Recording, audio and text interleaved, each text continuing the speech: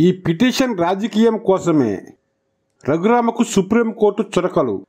YCP rebel MP రఘురామకృష్ణరాజుకు supreme court చురకలు అంటించింది. జగన్ కేసులు శీఘ్రగతిని దర్యాప్తు చేయాలంటూ సుప్రీంకోర్టులో రఘురామ పిటిషన్ వేసిన విషయం తెలిసిందే. దీనిపై విచారించిన సుప్రీంకోర్టు ఇది రాజకీయ కోసం వేసిన పిటిషన్ అని వ్యాఖ్యానించింది. రఘురామను ఉద్దేశించి మీరు ఫిర్యాదుదారు కాదు బాధితులు కాదు కదా అని సుప్రీంకోర్టు ప్రశ్నించింది.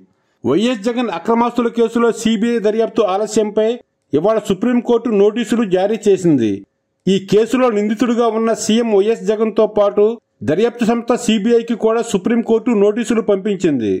జగన్ అక్రమాస్తుల కేసు దర్యాప్తులో అసాధారణ జాప్యాన్ని సవాలు చేస్తూ వైసీపీ రెబల్ ఎంపీ రఘురామకృష్ణరాజు దాఖలు చేసిన పిటిషన్ను విచారించిన సుప్రీంకోర్టు ఈ నోటీసులను పంపించింది.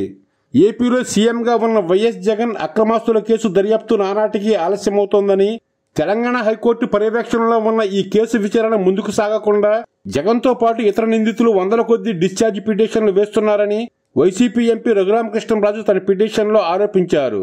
అలాగే ఈ కేసును విచారిస్తున్న హైదరాబాద్ సిబిఐ కోర్టు ఇప్పటికే మూడు వేల సార్లు వాయిదా వేసిందని కూడా పేర్కొన్నారు. దీనిపై ఇవాళ సుప్రీంకోర్టులో విచారణ జరిగింది. ఈ పిటిషన్పై స్పందించిన సుప్రీంకోర్టు జగన్ కేసుల్లో విచారణ ఎందుకు ఆలస్యం అవుతుందో చెప్పాలని అడిగింది. అలాగే జగన్ కేసులను తెలంగాణ నుంచి వేరే రాష్ట్రానికి బదిలీ చేయాలంటూ రఘురామ చేసిన విజ్ఞప్తిపైన స్పందించిన సుప్రీంకోర్టు రఘురామ బదిలీ పిటిషన్ను ఎందుకు విచారించకూడదో చెప్పాలని కోరుతూ వైఎస్ జగన్తో పాటు సిబిఐకి నోటీసులు పంపించింది. అలాగే ఈ కేసులో ఇతర ప్రతివాదులకు నోటీసులు జారీ చేసిన సుప్రీంకోర్టు తదుపరి విచారణను వచ్చే ఏడాది జనవరి నెలకు వాయిదా వేసింది.